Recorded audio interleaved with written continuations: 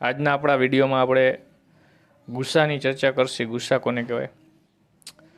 તો પહેલાં આપણે ગુરુત્તમ સામાન્ય અવયવ, બરોબર? ગુસ્સા. એની ચર્ચા આપણે કરવાની છે.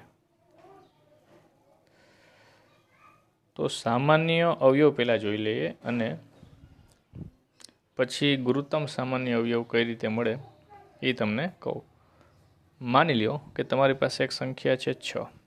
તો છના અવયવ અવયવ એટલે કે જેના વડે છને ભાંગી શકાય. તો કે એક વડે બધાયને. પછી બે વડે છને ભાંગી શકાય, ત્રણ વડે અને છ વડે. થઈ ગયા એટલે આ છના અવયવ. જેના જેના વડે છને આપણે ભાંગી શકીએ. પછી એ જ રીતે આપણે નવના અવયવ જોઈએ તો કે નવને એક, ત્રણ અને નવ વડે ભાંગી શકાય. રેડી તો આ નવના અવયવ થઈ ગયા. હવે આપણે જોઈએ ગુસ્સા. તો કે ગુરુત્તમ સામાન્ય હોય. તો કે આ બેની અંદર મોટા મોટો અવયવ કયો છે? એક તો બધામાં કોમન હોય જ. એના સિવાય જોવાનો તો કે ત્રણ. મોટા મોટો ત્રણ બેમાં સરખો છે. તો અહીંયા આ બેનો ગુસ્સા કેટલો આવશે મિત્રો? ત્રણ. એટલે આ તમારો થઈ ગયો ગુરુત્તમ સામાન્ય અવયવ. મોટા મોટો, બરાબર? તો હવે આપણે એની શોર્ટ ટ્રીક જોઈએ. કઈ રીતે ઝડપથી આપણે કાઢી શકીએ, બરાબર? તો એ જોઈએ.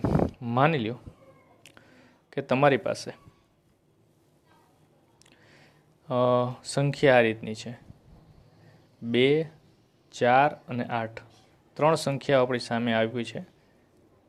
બે, ચાર અને આઠ. એટલે તમારે શું કરવાનું? તો કે સૌથી નાની સંખ્યા ઉપર નજર ફેરવો તો કે સૌથી નાની સંખ્યા કેટલી છે મિત્રો? બે. હવે સૌથી નાની સંખ્યા વડે બાકીની બે સંખ્યાઓને ભાંગી શકાય? તો કે જો, હા, ભાંગી શકાય. તો એ જ સંખ્યા જે તમારી નાની સંખ્યા, એ જ તમારો જવાબ થઈ ગયો મિત્રો. થઈ ગયો? બે, ચાર, આઠ છે.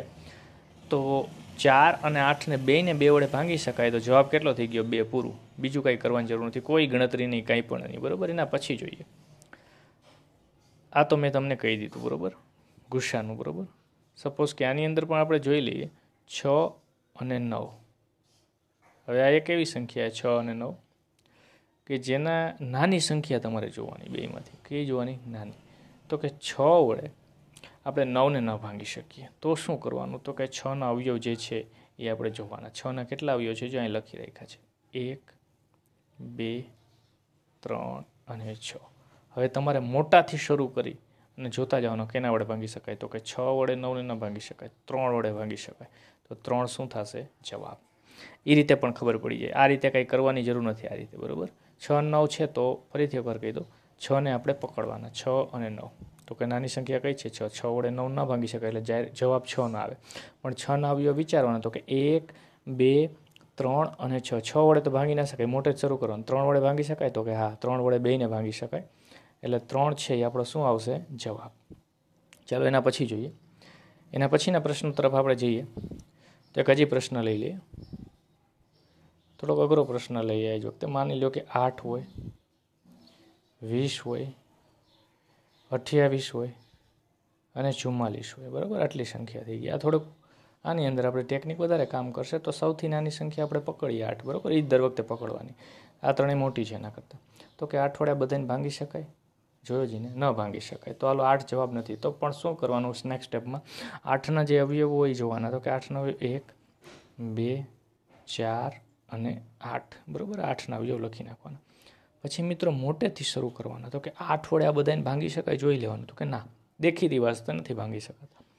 મોટેથી શરૂ કરવાનું. પછી ચાર વડે ભાંગી શકાય. તો કે હા, ચાર પંચાવીસ ચાર સત્તા અઠ્યાવીસ, અગિયાર ચોખ્ખું ચુમ્માલીસ તો તમારો જવાબ કેટલો થઈ ગયો? ચાર. ખબર પડે છે મિત્રો? ફરીથી એકવાર કહી દઉં તમને. તમારે શું કરવાનું? માની લો કે આઠ છે, વીસ છે, અઠ્યાવીસ છે ચુમ્માલીસ છે. તો કે આઠ વડે ભાંગી શકાય. બધાને તો આઠ જવાબ થઈ જાય. ન ભાંગી શકાય તો આઠના અવયવ લખવાના. આઠના અવયવ લખવાના. અને મોટેથી શરૂ કરી અને જે સંખ્યા, બરાબર? મોટી સંખ્યાથી શરૂ કરી અને જે સંખ્યા વડે બધાને ભાંગી શકાતા હોય એ જ તમારો જવાબ થશે મિત્રો. એના પછીનો પ્રશ્ન જોઈએ મિત્રો. એના પછીના પ્રશ્નની અંદર માની લો કે આપણે બાર બાર, પંદર અને અઢાર લઈ લઈએ. તો કે બાર વડે આ બે સંખ્યાને ભાંગી શકાય? દેખીતી રીતે ન ભાંગી શકાય. તો બારના અવયવ લખીએ. એક એક, બે, ત્રણ, ચાર છ અને બાર. બરાબર? મોટેથી શરૂ કરતું જવાનું મિત્રો. બાર વડે તો ન ભાંગી શકાય. ચાલો પૂરું. છ વડે ભાંગી શકાય, છ નહીં નહીં નહીં. ચાર વડે ભાંગી શકાય? તો કે ચાર તેરી બાર, નહીં નહીં નહીં. ત્રણ વડે ભાંગી શકાય. ત્રણ પંચા પંદર, ત્રણ છ અઢાર તો જવાબ કેટલો આવશે? ત્રણ. ખ્યાલ આવ્યો મિત્રો? ફરીથી એકવાર કહી દો બાર વડે ભાંગી શકાય બેને નહીં, તો બારના અવયવ મેં લખીને કાં મોટેથી શરૂ કરતા જાઓ. હવે ક્યારેક એવું થાય કોઈ પણ સંખ્યા વડે ભાંગી ના શકાય, ત્યારે હંમેશા જવાબ કેટલો આવતો હોય મિત્રો? એક. ન ભાંગી શકાય ત્યારે હો કોઈ પણ સંખ્યા વડે અત્યારે તો આ ત્રણ વડે ભાંગી શકાય છે. બરાબર બેન? એ તમારો જવાબ. ચાલો, એના પછીનો હજી એક પ્રશ્ન મિત્રો જોઈ લઈએ. માની લો કે તમારી પાસે આવી સંખ્યા હોય છ, આઠ અને બાર. બરાબર? તો આઠ અને બારને છ વડે ના ભાંગી શકાય તો છના અવયવ લખો, એક, બે અને ત્રણ. મોટેથી શરૂ કરો, કેના વડે ભાંગી શકાય? છના છ, આઠ અને બાર છે આપણી પાસે.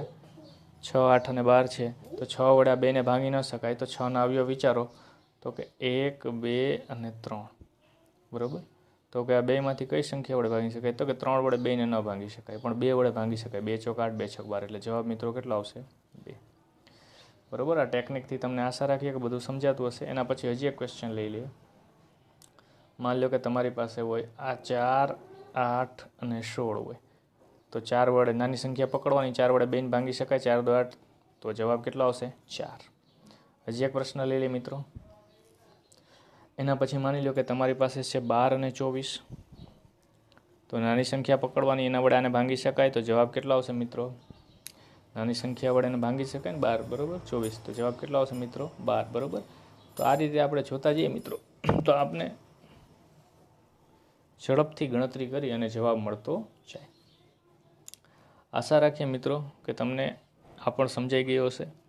તો આવનાર વીડિયો માટે ચેનલને સબસ્ક્રાઈબ કરવાનું ભૂલતા નહીં. Thank you very much